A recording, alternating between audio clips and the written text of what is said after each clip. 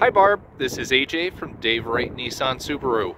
Hey, I just wanted to send you a quick video on uh, one of the pre-owned Outbacks. So this is a 2016. I actually sold this vehicle, so it was bought at our dealership and serviced at our dealership, uh, and they traded in for a Forester.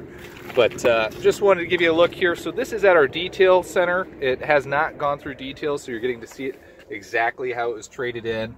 So you can tell it was very well taken care of.